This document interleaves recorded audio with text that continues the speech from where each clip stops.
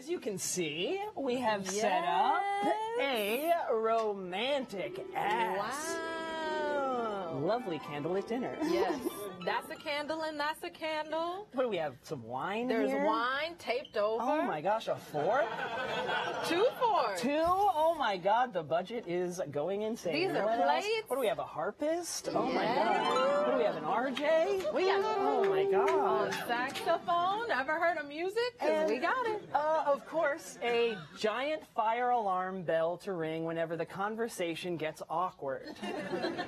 it's all the makings of a good first date. Yes. They'll be able to ring that bell and then we're going to come over and we'll help them out. Yeah. And uh, they'll fall in love. Yes. Yes. Um, love. Wow. We keep using that word, love. Uh, but what does it mean? What is love? Folks, love is like a beautiful sunrise. It doesn't matter how many bricks you and the neighborhood kids throw at it, that sucker's still coming up over the horizon. Love is like a big, yummy bowl of soup that's the perfect temperature and doesn't burn your tongue.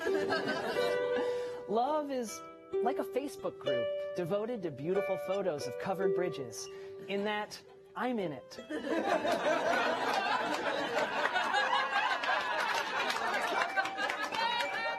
Love is taking a shower with all your clothes on, mostly dumb and soaking wet. Love is love is saying the words when the moon hits your eye like a big pizza pie. Well, actually, you better hope that's love, because if not, you could be showing early signs of what is called dementia, and it's a bad it's a bad scene, man. Love is like Michelle Obama, as in, if you're not with a cool ass black woman, you're probably missing out.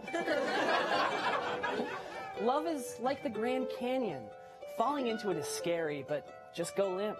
Take what comes your way, and pretty soon a tour group on a bunch of burros will discover what's left of your body. Love is like a dick pic in a very nice frame.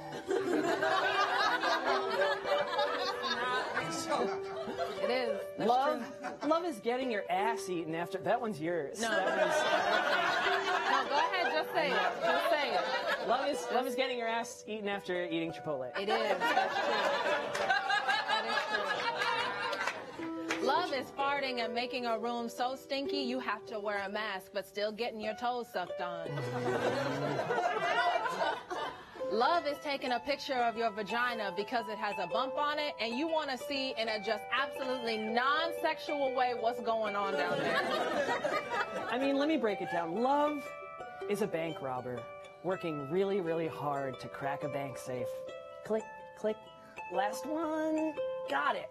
After he snickers and rubs his hands together in anticipation of the riches inside, he opens the safe, and inside is a note that says, Sayonara, sucker, haha, signed the bank tellers. And a trapdoor falls out from under him, and he falls into a pit, a pit full to brim with poison scorpions. One of those scorpions bites him. It's pretty bad. With the venom surging through his bloodstream, his vision blurred a bit. Through the hellish pain, what's this? The robber finds a bottle of antidote for the scorpion poison. Thinking he's gotten it all figured out, he opens the antidote bottle, but inside, there's actually very little antidote. And a whole lot of love.